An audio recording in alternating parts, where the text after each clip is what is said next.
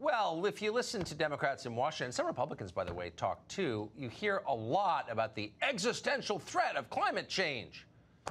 They claim to believe that, but they don't live like they believe it. We could give you a million examples. Here's the latest. President Obama apparently is in the process of paying $15 million for an oceanfront home in Martha's Vineyard. Huh? Trace Gallagher returns with more on that story tonight. Hey, Trace.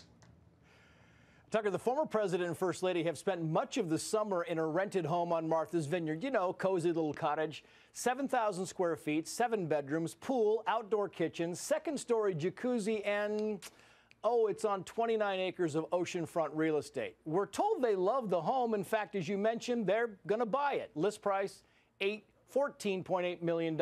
That's not to say the Obamas are paying full tilt, though, even when the former president was recently talking about income inequality, he had to admit that he's really rich. Watch. I should add, by the way, right now I'm actually surprised by how much money I got. There's only so much you can eat. There's only so big a house you can have.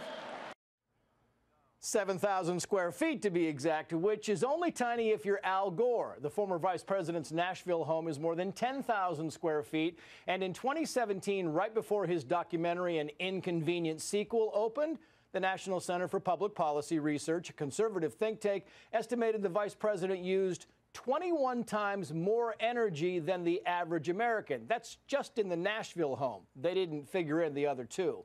Turns out being a congresswoman not nearly as lucrative as being a president or vice president. Democrat Maxine Waters' California home valued at a mere $4.3 million, and that home is not even in her district. Tucker. Amazing. Amazing. If you want to know what people think, watch how they live. Trace Gallagher, great to see you.